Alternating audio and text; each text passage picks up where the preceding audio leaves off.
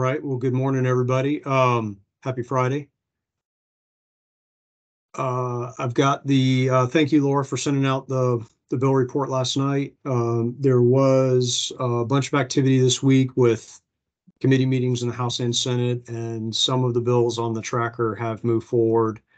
Um, this is still, again, organized by last action, so the top half of the report includes bills that had some kind of activity this week. Um, skipping down to ones we've talked about in the past. Um, I'm sorry, please forgive me just a second. My wife is having car problems and calling me. Just one second. I had that issue recently where my wife's car just completely died. That's no fun. That literally Yeah, I happened to give her a me new last night and my husband had to come help me.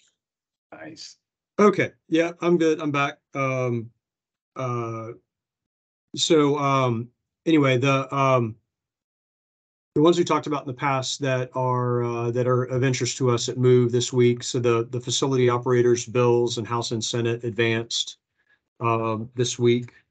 Um, I believe, yeah, uh, in the House, this bill is already on the floor. This is the one that allows for reciprocity for licensed operators from other states. Um, uh, in the Senate version is, uh, in the second stop.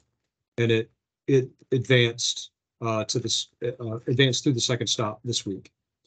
Um, ag lands, I'm not really tracking ag lands, um, but it moved this week. Let me see here, environmental protection, this is a bill that, uh, we've talked about before. It's got a bunch of things in it. This is the House companion to Brodeur's environmental protection bill. It's a, I would call it a train bill, um, because it has a, a bunch of different things in it. From Indian River Lagoon to, um, uh, groundwater to wastewater capital improvement schedules, and it's got a, a, a piece in there, and this is probably the one, the most notable piece that you've seen some press about, is it expands the wastewater grant program and further limits the installation of, of conventional septic tanks in certain areas and impaired watersheds. Um, so that bill is moving. It is, um, on its second stop, passed through its second stop this week. Um, uh, I'm sorry, passed through its first stop this week in the House. In the Senate, it is um, uh, on its second stop as well. Floating vessel platforms is moving for anybody that cares about that stuff. There's the Senate companion to the wastewater facility operator bill. Um, this administrative procedures bill, we talked about it last week. Um, this is the one that requires that SERCs be publicly noticed, uh, like the rule. So this statement of estimated regulatory costs and would, would have impacted the DEP stormwater rulemaking if this were law. So interestingly, um, if, uh, if, if the stormwater rule is not ratified this year and this becomes law, then if it, if it ever has to go back through again, it's going to, um, it's going to increase the requirements on the department to go through, to go through rulemaking. Um, in that it would require the SERCs all be publicly noticed and publicly advertised, um, along with the rule. Phosphogypsum study bill is moving, flood damage prevention bill is moving. This is the one that if you, if a local community raises the minimum elevation for uh, flood damage prevention, then it also raises the uh, the max height by the same amount, so your the buildings aren't squeezed. Uh, there's the companion of the phosphogypsum study bill. Uh, companion of the floating vessel platform bill. Uh, let me see here. Uh, I know a few of y'all are interested in this um, expansion of the the vulnerability studies. This one um, didn't move this week, but it it is in this la its last stop in the House, and it did not move this week in the Senate. So we're we're starting to get to the bills now that didn't move this past week. uh, but are still moving. There's Brodeur's bill. Um, so who's got, who's got questions?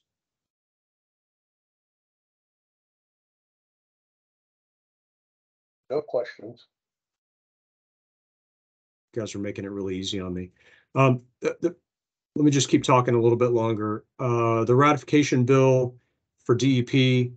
Uh, this one is still sitting in its last stop in the House and Senate.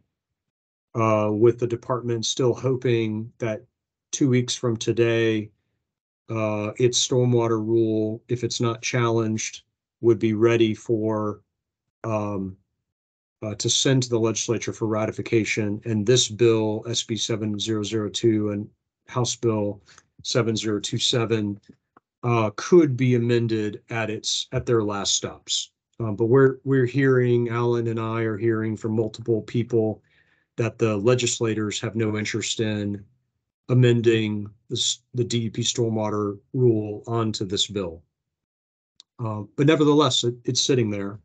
Um, if it, if it, uh, if it moves out of its last stop, um, I think it makes it a lot harder to add on, and I think that would be a pretty strong signal that the legislature, um, isn't interested in waiting on the, the stormwater rule.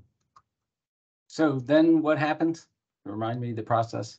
So, so what happens unfortunately is that the rule will be a final rule, but uh, uneff, you know, not effective because it requires ratification.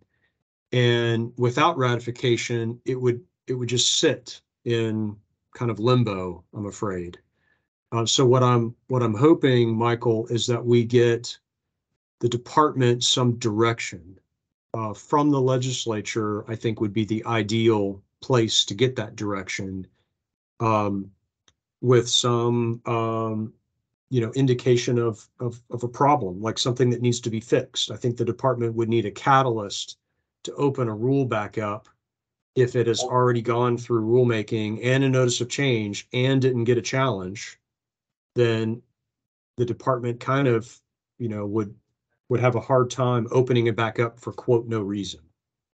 Right, so I think, I think if the legislature gave it a reason, like, uh, if, if, if an amendment were filed and then in discussion at a hearing, when the amendment is voted down, the legislature could say publicly from, a- from a committee, we're not ratifying this bill because we think that a numeric reduction is not a consistent application of a net improvement performance standard, which is what we directed DEP to do in, in Senate Bill seven twelve. And so we're rejecting this ratification. Like if, if the, if the legislature made a statement like that, then the department would have that statement to rely on to open the rule back up. Well, Jackson can open it. Yeah, and, and I think it's far more likely that not having a public denouncement of the DEP bill at a committee, um, because I don't think the legislature wants to, you know, would want to take that on. I think a, a safer place for the legislature to respond with, you know, with a, with a, a, technical or a legal justification for not advancing the ratification, it would be through JAPC. And I'm, um, I've talked to a few people about it. We probably will not see a JAPC response like that. Um, uh, right, right now, while the rule is still in its, in its, uh, twenty-one day period. Uh, because I think that gives the department an opportunity to fix it.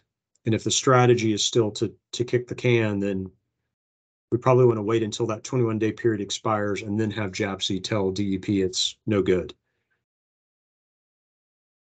But that's, but that's me pretending to be political consultant and, and attorney.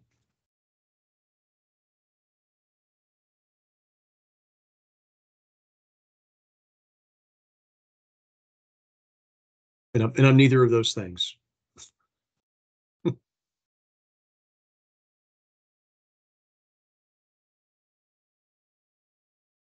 Hey, Jeff. Yes, sir. Um, I can tell you there's gonna be a call at eleven o'clock this morning that I'm gonna be on with Representative Payne. on this issue, and it's the home builders, AIF, and, and the developers in that group. Um, and I think what they're looking for is to make sure the final nail is in the coffin of ratification. I think there are still some that are nervous. Uh, that if this twenty-one day clock runs and nobody challenges it, that, you know, we might get a surprise in week seven or eight. Uh, I'm not so sure that would happen, but, uh, um, just so you know that, and, and they're looking to set a, um, uh, a meeting up with, with Brodeur to talk about it as well. So, so they're still working hard uh, on the, you know, just stop the ratification side of it. Yeah. Uh, which I, I, I think you've already said, that's the most likely scenario, but just in case they continue to dog this one a little bit. Understood.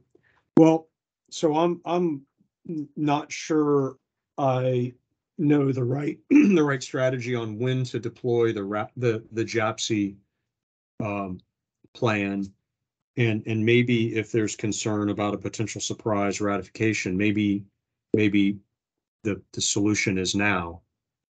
Um, because, because really the, there, there isn't, I don't think there really is time for the department to go back and fix it and try to bring it back again. Uh, so if, if we wanted to, um, uh, be on the side of, of, of, uh, of just shutting this thing down for, for good for now until it's fixed, uh, I think JAPC could do that. Well, I, I can tell you, it, it's interesting inside that group because uh, they're not in favor of a challenge. They're not in favor of JAPC saying anything or anybody saying anything. Um, because they're afraid they'll hear the wrong thing, right? It's kind of like, you know, you can go to the attorney general for an opinion, but you might not get an opinion you want. So they would rather not see a judge involved or JAPC or anybody else and kind of leave DEP hanging, which kind of tells me that, you know, they may not be that sincere about, you know, in the future, we really want to see clean water. Um, but, you know, on our side of it, I think this gets us, hopefully we'll get there and there won't be ratification this year. And I think, you know, as we discussed on the phone a few days ago, it gets us in a position where, you know, we can go to DEP and say, look, you know, the environmentalists hate your rule. Uh, the business community hates your rule. Let's sit down and see what we can work out and see Yeah. if we can't get to some, some conclusion. Nobody's ever going to be a hundred percent satisfied. But let's say if we can't do something to move the ball forward. And I, I think it puts us in a really good position. Yeah.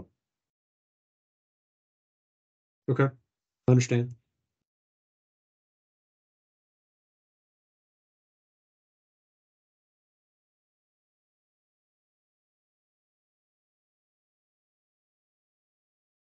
Hey, Bill, thanks for sharing the uh, news on the PFAS uh, primary drinking water standard. I heard that was coming. So it's officially dropped. Yeah, it's dropped and the public comment period uh, it ends May thirtieth, twenty twenty-three.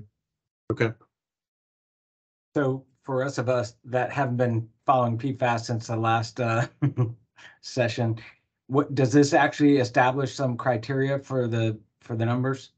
Yes, it That was one of the issues, right? Is that there was no, Yes, there were no data or no values? Okay. correct. Uh, Establishes numbers and establishes means of calculating numbers as well that are site-specific.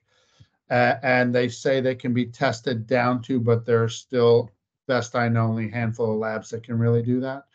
Um, it- it- they present, I participated on the 29th and maybe some others did as well in, uh, in a technical seminar that EPA presented. Uh, you may choose, I sent a hyperlink to the CFR. If you want, I can send the hyperlink to the EPA website because you can go back and the presentation should now be uh, uploaded because they were going to do that. And you'll see the limits, you'll see their methods of calculation and other things. And for those with particularly public drinking water clients, that's where uh, the the initial push is. First time they got to be compliant is three years from now, so some of us may not see that, but uh, many of us, like you two guys, will. Uh, so it is it is uh, it, it's real. It- is the emerging contaminant du jour, but that means we must address it. So I'll uh, I'll go blind again, and I'll I'll find you the EPA website and I'll post it. It's the emerging contaminant to rule them all.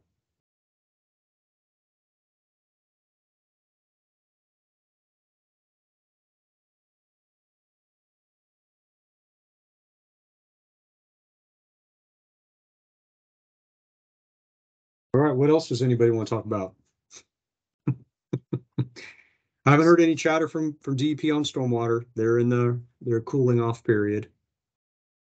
Yeah, Jeff, Bob Higgins Yes, sir. I gotta call John and find out what's going on.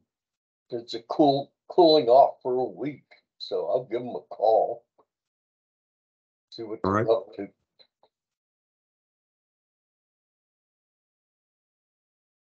Yeah, I'd, I'd be interested to hear, uh, what they're thinking right now. There, there was a little bit of news coverage of the change. You know, we were quoted again. Um, but, um, not a, not a ton of coverage about it. Well, a thousand friends is all over. Hey, you made it in the Miami Herald, Jeffrey. I know, I'm so excited. Finally. Bucket list checked off. There you go. And, uh, well, you know, the Bradenton Herald, uh, yeah, that's. That, that's, that's the creme de la creme. Yeah, that's right. And uh, watching um, to see whether uh, Craig Pittman's going to tweet about me again. Did he? No way. No, no, I mean it, he did, but it's been a while. It's been when I was at DEP. He was tweeting about me. I'll get Edie to call him. No, thank you.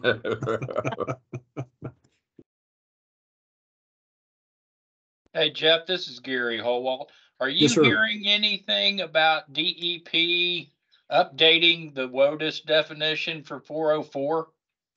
I mean, they're still using the Navigable Water Protection Act, which is way gone now. They they are they are so okay. So the um the uh official position of DEP as as communicated to EPA in in writing, you know, both in the WOTUS comments and and if you want to have some some pure entertainment, um read uh John Truitt's letter in the public record to the WOTUS um you know public comment. Um uh, but but but back to back to DEP's adoption of it. They have by federal rule, they have one year to adopt to conform the state rule to a to the federal rule when there's a federal rule change. And so uh, when the new if when when the new WOTUS, when the new federal WOTUS is final rule, then that will start the one year clock. Uh, it, it was final, But wasn't it, uh, but I think it was immediately challenged yeah, and only, maybe, only in two states, Idaho and Texas. okay. Okay, Who, whose letter was that, Jeff? uh, DEP wrote a public comment letter to the EPA WOTUS rule rulemaking in the Federal Register. It's a entertaining response. Uh, Man, Sackett I'm gonna have to look that up now. yeah, no, you, you should. Um, Sackett is due i- in the next second, the, the second Supreme Court case about WOTUS uh, Right. is, d- is due to drop in the next sixty days. And, um, and it could drop any day. So, uh, that it, a lot of watchers of WOTUS believe that EPA, that the EPA new, the new EPA rule is going to be significantly undercut by Sackett two, maybe even invalidated by Sackett two. So there's a lot of reasons for DEP to kind of just sit until Yeah, the thing shakes out. Thank you, sir. Yes, sir.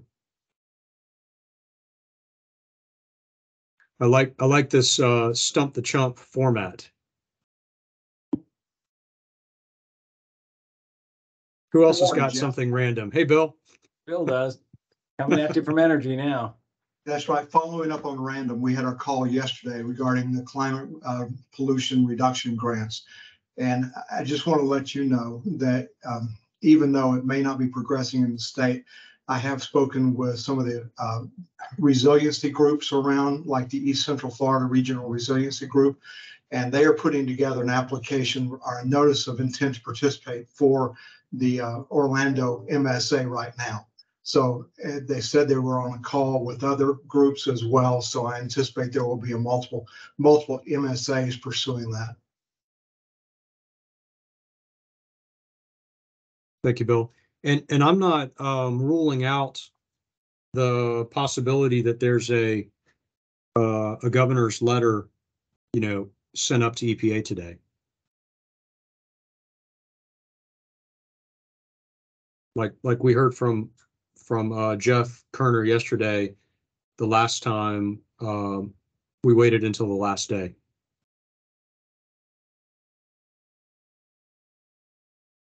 Hey Jeff, if I can butt into your program for one second, uh, Bill Bradford, um, how was that resiliency talk with, uh, Casey DeSantis? Wonderful. I have never seen resiliency applied to mental health like that. But Tracy Galentine and I were there and we felt right at home along the mental resiliency uh, topics. I So have to please- tell. I please have to tell Edie the for us. story real quick. Yeah, we get, we get a call at like, I don't know, four o'clock in the afternoon from the governor's office that they're looking for some attendees at a, at a press conference or something that the, the first lady's doing and, you know, can we get three or four people and you gotta have your name, the names to them in an hour. And what's it about? Resiliency. So we grabbed Brad. I mean, it was like the day of our board meeting. So we, we grabbed Bill and we grabbed a couple others and get them to go over. And it turns out it, the next morning, it turns out that it's a resiliency of on mental health for school children. and, and, and and they got seated in the third row, so they couldn't slip out and uh, had had to sit through it. So, but my apologies, Bill, but that that's that's a good one. So Bill, thank you so much for doing that. And, and no, I, I really had no more information other than resiliency. So, um, but, uh, thanks for being a good sport. Tracy and I both enjoyed it. It was a, a lot of fun, very interesting, and the coffee and the tea were just wonderful. So thank you.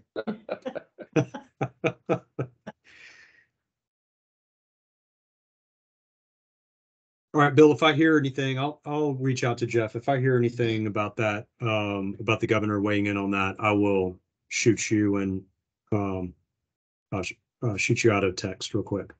Thank you. And And I'm also, I'm following up with this East Central Florida Regional Resiliency Council, and I'll let you know what I hear. Okay, thank you.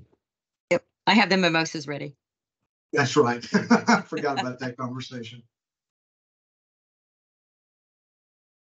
All right, well, please keep, uh, uh, those emails coming if you've got any interest in, uh, policy bills that are moving or not moving. Um, I'm, I'm happy to focus on, on something. I, uh, haven't, haven't gotten anything from any of y'all yet, so.